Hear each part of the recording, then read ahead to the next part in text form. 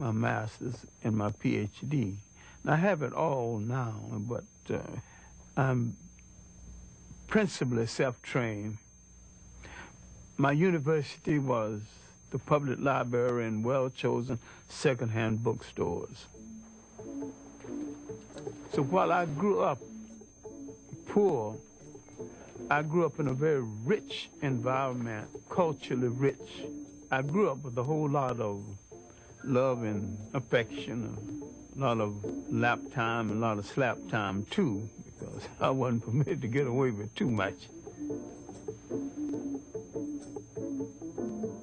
Miss Evelina Taylor is my fifth grade teacher, and she might be the foundation teacher in my life. In addition to teaching me basic good thinking and good conduct, she called me into her room during her lunch hour one day and told me to stop playing the fool because I was playing the fool just to get accepted. And she said, it is better to be right and march into hell than to follow a bunch of fools into heaven. I wanted to do something to impress Miss Taylor, and we had current events on Friday. We wanted to say something unusual because I worked for white people before and after school, and they had magazines. They would receive them one day, read them hurriedly up, throw them away the next day. So when I got up for current events, I always had something decidedly different to say about my own people and about other people. No, I wanted to do something real, real big. So I went to a lawyer that uh, I worked for before and after school. I can still remember his name, Gag Steider.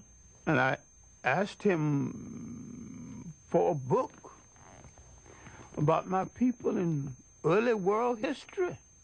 He says, I'm sorry, John, that uh, you came from a people have no history. My mind would not accept that.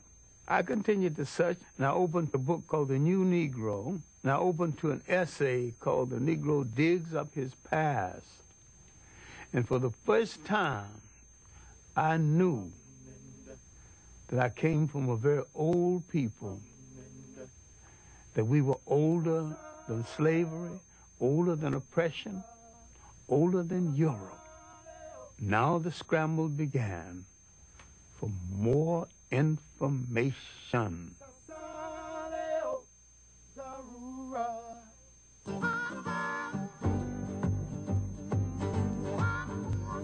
During the disaster years of the Great Depression, Americans in huge numbers take to the rails. They don't take Pullman cars or day coaches. They stow away on the freights riding the rails in search of the opportunity to create a better life. John Henrik Clarke wrote them. Out of the South first, briefly to Chicago, and then on to New York City.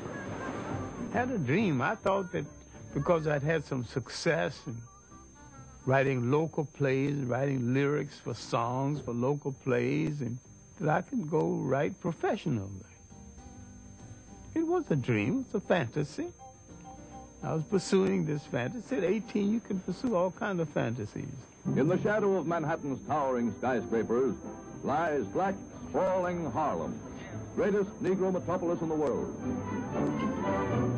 My impressions of the Harlem community, in the first place, it was a clean community. It was an orderly community. It was a safe community. It was a community with its customs that we have forgotten now. Street speaking customs, strolling customs, social customs. There was a time when 7th Avenue, now Adam Powell Boulevard, was the street of choice. And you did not walk down 7th Avenue on Saturday or Sunday without a coat and a tie.